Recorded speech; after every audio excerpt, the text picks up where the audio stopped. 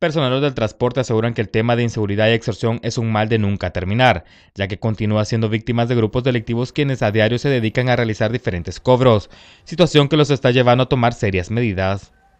Esta cuestión se calma una semana y a la de semana tenemos problemas. Y lo demás que, que, ocurre sin que haya ninguna bulla, que es el,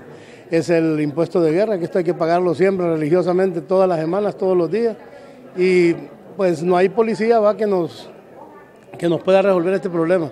Aquí el departamento que siempre digo yo que es el que está trabajando al día es el departamento anti-extorsión y que de repente queda un poco inclenque porque cuando él manda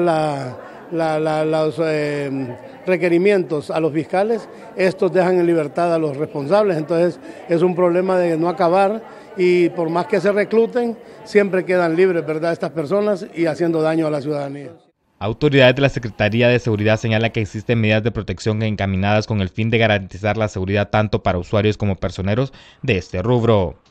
Y es por ello de que se están revisando eh, todas las operaciones que se están haciendo en este tema. Eh, se está trabajando con la Fuerza Nacional Anti-Extorsión, eh, que trabaja en temas relacionados a este tipo de delitos, que son una de las principales hipótesis en los incidentes que se han dado en temas de transporte. Así de que estamos trabajando, eh, se están investigando los crímenes que han ocurrido y muchos ilícitos que se han dado en torno al tema de transporte. Vamos despacio, pero aportando pruebas eh, que se están trabajando a través del Ministerio Público. De igual manera, autoridades del Instituto Hondureño del Transporte Terrestre apuntan que no es responsabilidad de este ente del Estado, ya que son un órgano que lo que realiza es la regulación de este servicio público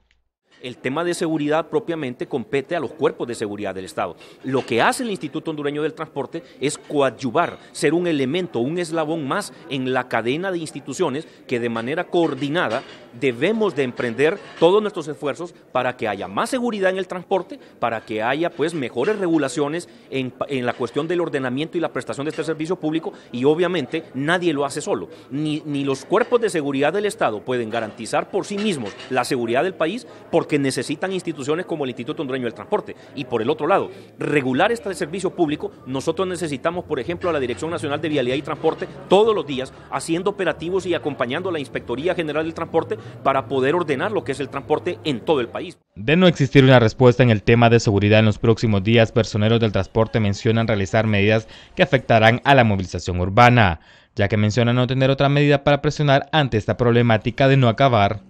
desde Notifides le invitamos a fomentar una cultura de paz. Con imagen de Voces de Leones informó Josué Varela